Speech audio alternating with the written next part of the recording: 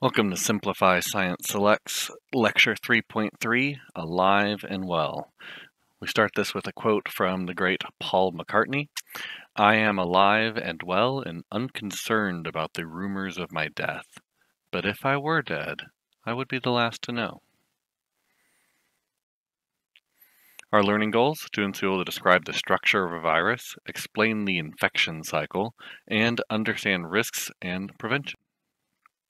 What we already know is that there is a taxonomy that separates all kind of living organisms into the different groups and that life is diverse. What we learned in the lab is that viruses have different ways that they can spread, living organisms have different methods of trying to prevent viruses from spreading, and viruses are simple and efficient. The alive or not alive question is an interesting question. Um, the we have to define it first and what does those words mean? What does it what does it mean to live? It's easy to define what it means to not live. I think it's obvious to point at things around us and to look at our uh, pencil or look at our desk or look at the floor and say these things are not alive. And so uh, that, that, that seems very clear to us. But to describe what is alive becomes more challenging. We have to make a list of characteristics of things that are alive. So some ideas is things that maintain homeostasis. We, you should recall from a previous unit that homeostasis means to uh, maintain certain conditions, to keep yourself the same. That if there is some kind of alteration to your state, that you have some kind of mechanism to get back to that state. Um, whether that's maintaining uh, temperature or water levels or um, anything, anything that's important to the organism. Um, living things tend to use energy. They use energy to do stuff uh, for whatever reasons. Different organisms do different things. Uh, they should grow. Uh, there's there's change. They're, they're not static. Um, reproduce is important.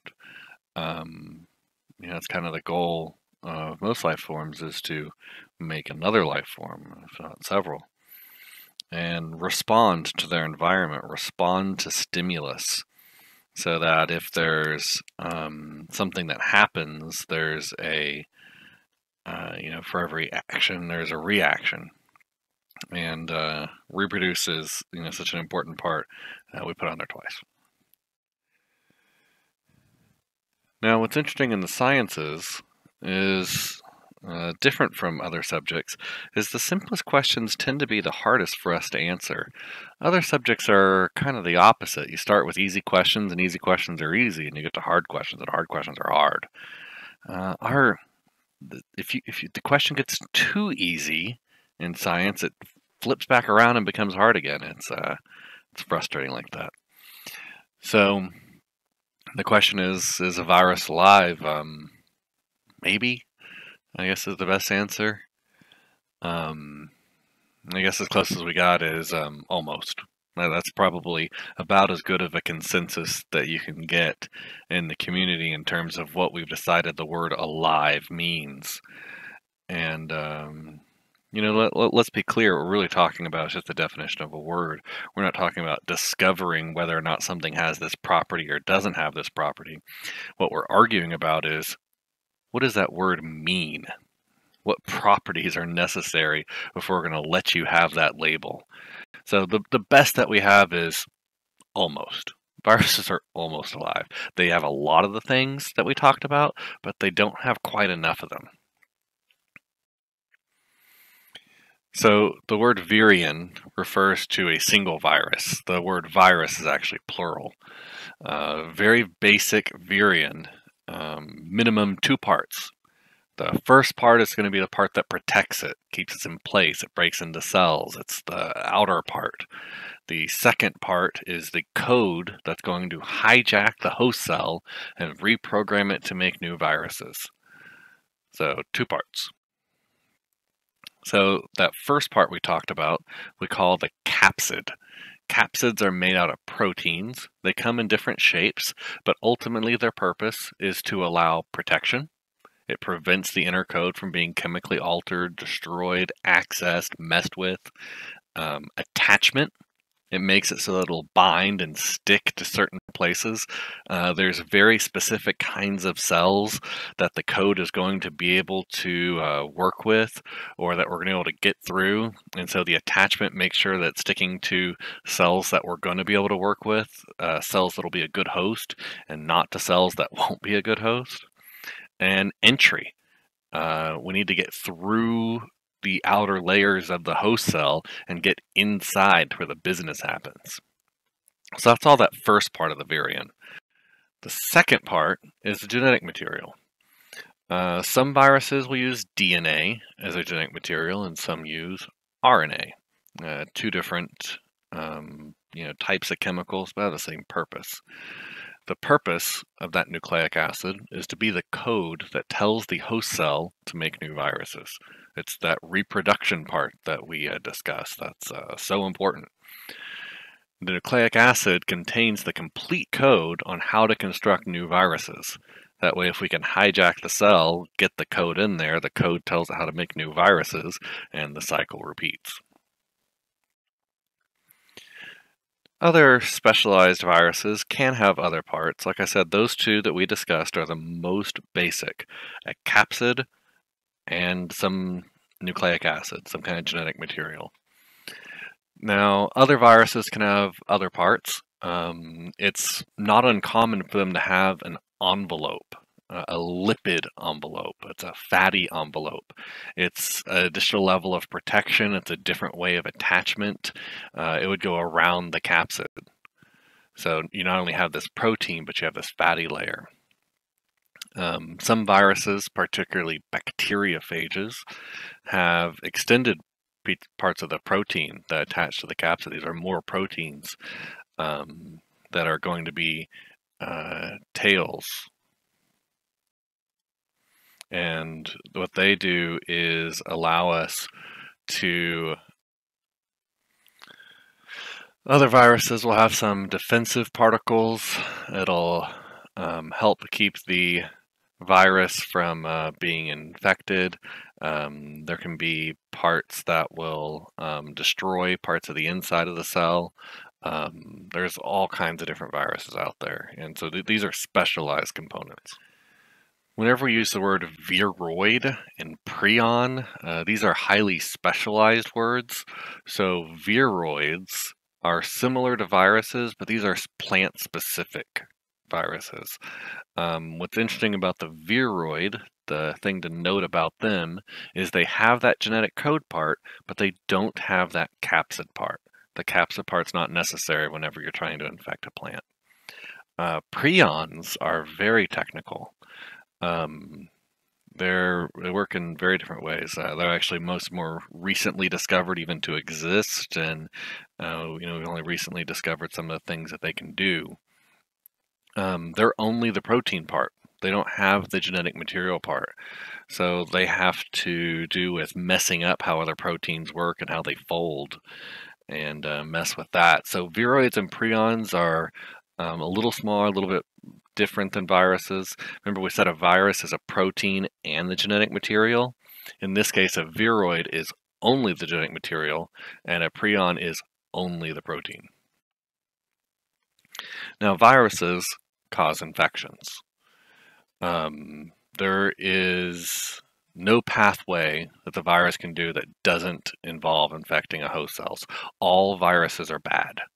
So they belong to a group called pathogens.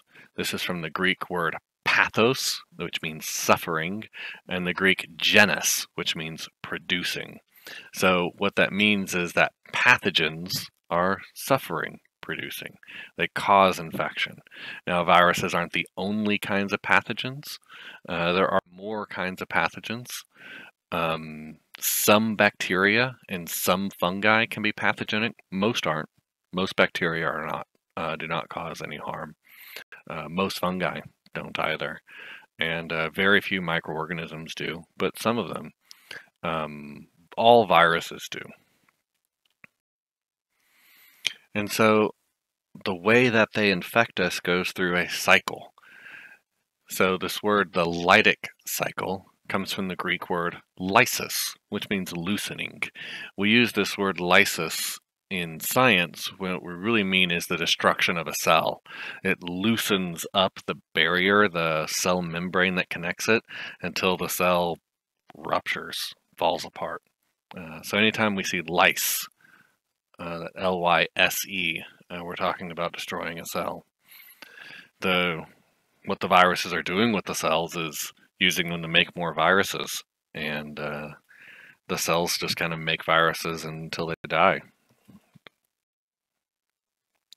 So this lytic cycle goes through um, five steps. So we're looking at a bacteriophage right here. This is a virus that's going to infect this bacterium. So step one is attachment. So this bacteria is using those proteins that attaches it to the host cell. It's identified this as a viable cell and it sticks to it. Now the virus can't move, the virus is just floating around and when it happens to bump into the bacteria, it sticks. Step two is entry. So we said that one of the function of those proteins is to get through the outer protection of the bacteria. So that blue right there represents the genetic material and the gray represents the protein. So the blue genetic material is moving into my bacteria cell here. Step three is replication. So what's happening now is that genetic code that's inside there has told the cell what to make. And cells don't think, they just follow instructions. And the instructions they have is to make these parts. And so the cell makes parts. Step four is assembly or construction. It's taking all those little parts and starts putting them together. And then step five, lysis. Remember we said lysis is when the cell ruptures. It literally explodes out and all of these new viruses are going to float out into the uh, liquids around and float around until they happen to bump into another viable host cell and the cycle continues. So these are those five steps.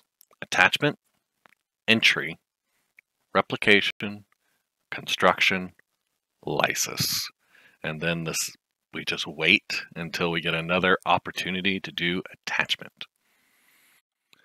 There is a slightly more complicated cycle that just adds on uh, a little bit. This is the lysogenic cycle, so that lyso is that same word we saw from lytic. Uh, lysis is that rupture. Um, but it has that suffix genic, which, if you recall uh, from pathogenic, means producing. So this just doesn't, in uh, lysis, we went straight to cell death, to the lysis stage. In lysogenic, it's going to produce that cell death, but there's a pause step in the middle where we wait. So after uh, we go through step one attachment and step two entry, but before we get to, to replication, um, we have a little bit of stuff that happens here in the middle. Um, typically, uh, the lytic cycle would go straight into making parts, straight into making. So if we were following here, we'd go, um, you know, uh, attachment to entry, and then we go straight to making parts assembling, rupture. So this big arrow here represents what would happen if we were skipping straight through the lytic cycle. So we can see there's two more intermediate steps that have been added to make the cycle not just lytic cycle, but to lysogenic cycle. So there are two middle steps. So in this case, the we have a combine. So the genetic material goes through the entry, it's inside the cell, and then it combines with the normal DNA. And then it waits. As that cell goes about doing its normal thing and making daughter cells, those future daughter cells all inherit. Now we have a bunch of cells that all have the same genetic material as uh, mother to daughter over and over and over. We can have generations this might go on for. Now, at some point, replication begins. We start the step where we start making virus parts. each virus is different on what it takes to initiate replication or why it might happen. Um, some do it sooner, some do it faster, some do it later. Uh, some only do it at certain temperatures, some it's random. Um, it just depends. Um, it waits. So we can see there's kind of a kind of a fork in the road right here in the middle where after we've gone through entry and injected the material, if the type of virus goes through the lysogenic cycle, it's going to combine. If it's the type of virus that only goes through the lytic cycle, it skips those other steps and it goes straight to making viruses, and we're going straight to lysis. Now, all living things can be infected by different types of viruses. It's not just humans that get that, but that specific virus is specific to that kind of group. Um, viruses that infect trees are safe to humans, and viruses that infect humans are safe to bacteria. Uh, you've probably been around when your cat or dog has had a cold. Uh, the cold is caused by a viral infection. You might have seen your cat or dog sneeze, but we don't catch colds from cats or dogs. Now, if our family members have a cold and they're sneezing and we have an extended exposure to them, we can catch a cold from them because that virus that infects humans can infect us too because we're humans. But uh, they're pretty specific, so they don't they don't move around just anything. But all all life out there has different kinds of viruses that infect it. There are human viruses, there are cat viruses, there are tree viruses, there are bacteria viruses, there are viruses that infect fungus. Anything that's that's alive out there is has a possibility. There is a chance that there's a kind of virus out there that'll infect it. Um, nothing nothing is 100% immune. So whenever we talk about the kind of viruses that affect bacteria, because bacteria is such a huge group, we give it a fancy name, bacteriophage. So um, the only thing that words means is it's the kind of virus that affects bacteria. That, that that's it. Um, because of the differences in our bacteria, as we discussed before, being prokaryotes versus our fungi and protist and um, plants and animals that are eukaryotes. It gives them a little bit of differences, and so the proteins that um, attach and get entry are slightly different. So those outside proteins really cause us differences in shapes.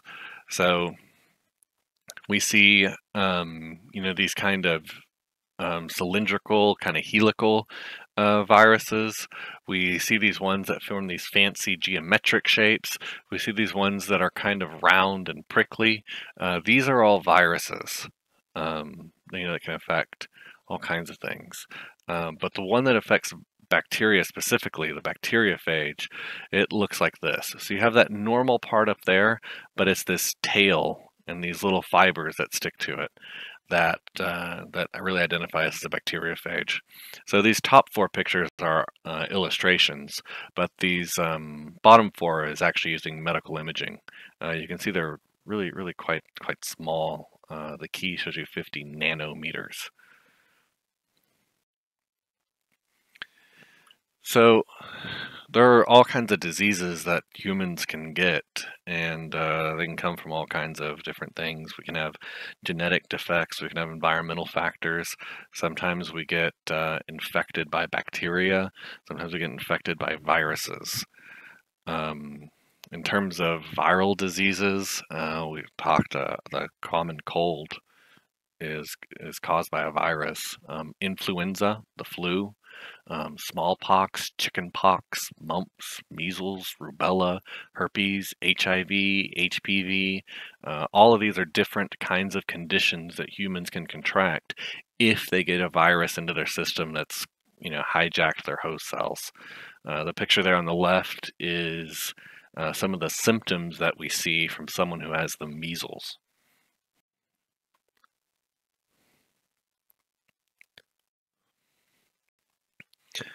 Now, treatment of diseases caused by viruses is very difficult. One, we can't kill them because they're not alive. And two, they're inside our own cells. They're using our cells as hosts. And uh, we don't want to kill all of our cells. Like we have kind of collateral damage. You know, they've taken hostages, uh, if you want to think of that as a metaphor. So there's two kinds of drugs that we can take. Uh, some of them just alleviate our discomfort and symptoms. They just make us a little happier uh, while our body's natural immune system solves the problem. The natural immune system in our body is pretty good about taking care of most viruses. And so sometimes we just need to, uh, you know, alleviate our fever, get rid of the pain, uh, to, you know, take some Tylenol or, um, you know, also acetaminophen um, or, or whatever, and just kind of weather it out, you know, sweat it out. There are some antiviral drugs. They are not capable of killing the virus, but uh, there's some that kind of get a, get in the way of its process of reproducing, uh, that kind of get in the way of the cycle and slow it down so that they can't move quite so quickly. Um, there are some viruses, we have some antiviral drugs, uh, but making antiviral drugs is not very easy. Um, antibiotics don't work on viruses because, and look at that word, anti bio against life. Antibiotics work on living things like bacteria. Antibiotics don't work on viruses because they're not alive. Since trying to treat viruses is so challenging, we really focus on prevention. Prevention is really the key. The number one way is just to limit exposure. So those proteins that are on the viruses are specific to the types of cells uh, so it's not just specific to organisms, it can be specific to types of cells on that organism. You know, there are there are some viruses that are, you know, susceptible just to us uh, breathing, just bre being around them in the air. Uh, you know, we can breathe them in and they'll get through. Um, there are some viruses that, you know, is won't infect us through our skin, so it's important that we wash our hands because if the virus is on our hand, it won't necessarily infect us. We can wash it off. But if we don't wash our hands as we touch our lips or our nose or our eyes, we can move those viruses towards cells and put them on cells that they can infect. Uh, that's the reason that hand washing is important. Our skin cells are um, have pretty good defenses. Um, but some of those, you know, thinner membranes like in our mouth and our nose and our eyes, uh, might be spots that the virus um, can attach to. There are other viruses that uh, need access to blood um, or that might be sexually transmitted, um, but it's a very specific kind of cells. And so just limiting your exposure to the viruses is the best way to go about it. The second best uh, method of prevention is vaccines. Not every virus out there have we found a good vaccine for, um, but we found a lot of good ones.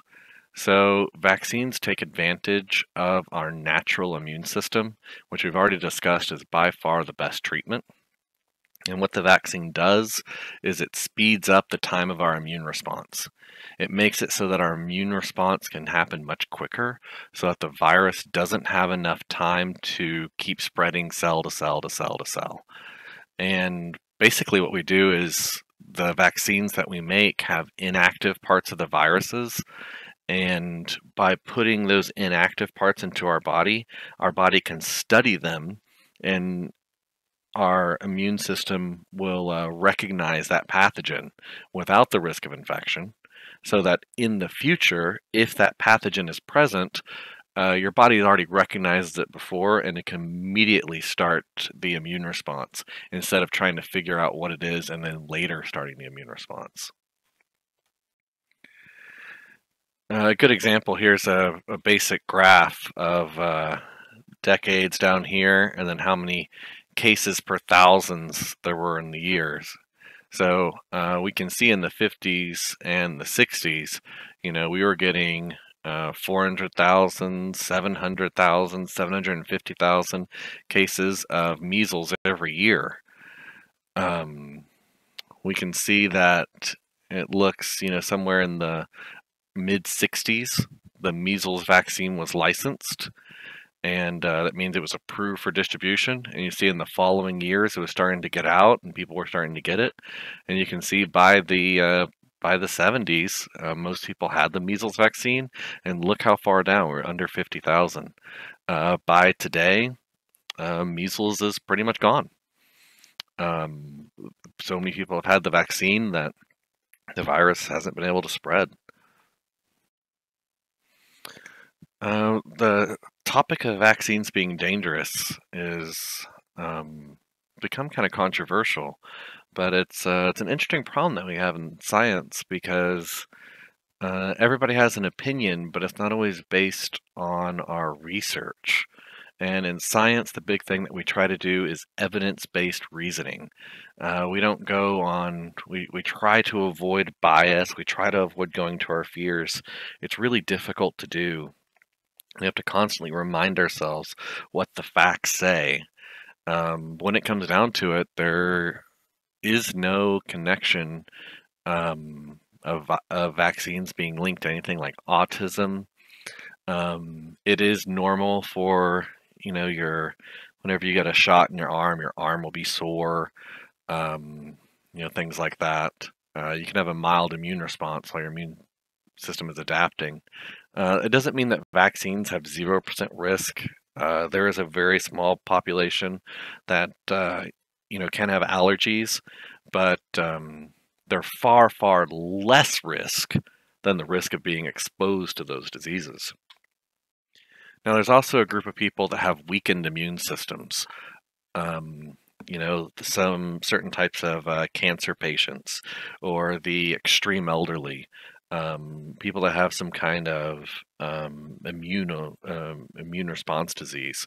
It prevents them from being vaccinated because their immune system won't be able to mount the defense anyways. Uh, it's a very small percentage of the population. Uh, the good news, though, is if a high enough percentage of the people surrounding them has the vaccine, then their immune systems prevent the virus from being copied and spread, and then those people that can't get the vaccine aren't exposed to it because there's not enough host cells to keep reproducing it. Uh, this idea of the vast majority protecting the minority is called herd immunity. So um, there's um, some examples of some viruses like chickenpox or hepatitis A, mumps, rabies, uh, West Nile. Uh, we're talking about Zika these days and uh, some of the symptoms, how it's transmitted, and uh, vaccine recommendations. You can see that there's a lot of differences virus to virus. Uh, some interesting uh, numbers. The uh, left shows the um, number of cases uh, reported in one year versus the right uh, shows after vaccine. So, you know, we can see uh, what a dramatic uh, improvement in the quality of life that um, vaccines have gone. Uh, and look at diphtheria from 21,000 cases a year to zero. Uh, look at hepatitis A from 117,333 down to 11,000. Um, look at measles, you know, over half a million and then down to 61 cases. Now, some of those names of those viruses are foreign to us, like uh, polio. The polio isn't a disease that we talk a lot, you know, in today's modern generation because people don't really get polio anymore. If you talk to older generations, they remember the horrors of polio and uh, you know the the fear and um, the crippling effects it would have. Um, polio has the polio vaccine has been so successful and was spread so far that polio has been entirely eradicated from the United States. There were there the virus pretty much doesn't exist anymore. Um, you can see how rapidly, when the polio vaccine was uh, widely spread, um, you can see the slope of that line plummeting down. Um, but if you have, you know, if you know people in older generations that were alive there in the 50s, um, chances are they knew someone who um, suffered from polio, and it was a scary thing. And we're fortunate that this word polio doesn't mean much to us anymore. Now, some vaccines are better than others. The polio vaccine is an example of one that was extremely effective. Uh, the flu vaccine is an example of one that's not very effective. Um, polio was a very specific single virus. There's only one virus that caused polio. Uh, the word influenza is actually attributed to tons of different flu viruses, and they're constantly changing. So um, every year there's a different flu vaccine, and the flu virus keeps changing, so the flu vaccine has to keep changing. It's still a fairly effective vaccine, but it reduces your odds by about 50%. Depends on the year. Some are 40%, some are 70%. It, it depends on the year. Um, it still helps, but it's not a guarantee. Um, nothing's a guarantee. The point, though, is that uh, less risk. Um, the polio vaccine uh, had a very high percentage, so much that uh, we were able to eradicate polio. Obviously, we're nowhere near eradicating the flu. Um, but you know, it's been a while since we've had uh, you know a major epidemic. We use the word epidemic whenever there's a virus outbreak and it spreads rapidly and uncontrolled. Fortunately, we live in a, uh, a country that has a fairly well advanced uh, healthcare system. We're able to identify and stop uh, things like that before they get to epidemics.